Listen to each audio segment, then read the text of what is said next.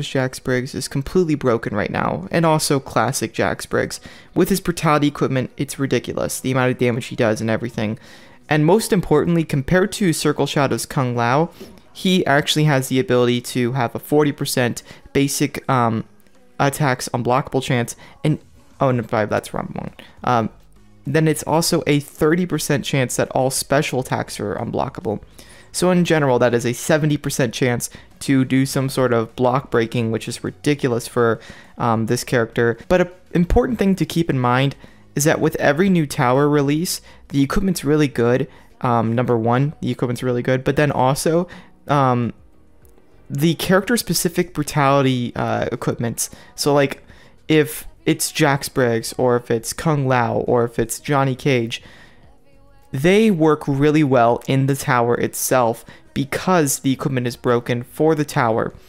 Because, look, all of the damage boosting and whatnot won't be applied unless you're using it in the Dark Queen's tower, which is why this character is more overpowered now than he would have been in the Earthrealm tower. So we're playing with MK11 Sindel fully maxed out and also MK11 Rain just for a little way to throw it up in the waters.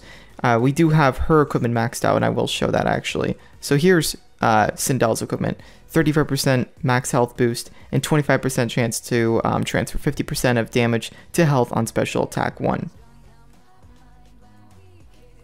So let's hop into this.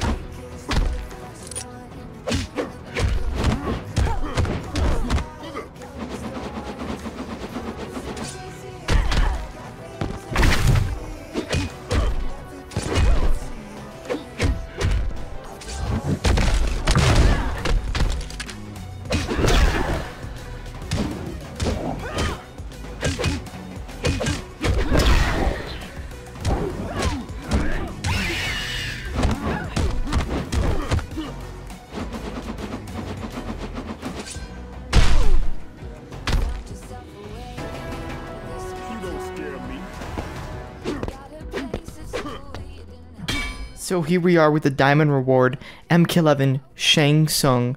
Huh. Okay, yeah, you can get Shang Tsung and other characters from this tower. Pretty nice, pretty nice. Well, anyways, guys, that's gonna wrap up this video. Thank you guys so much for watching. And yeah, peace out.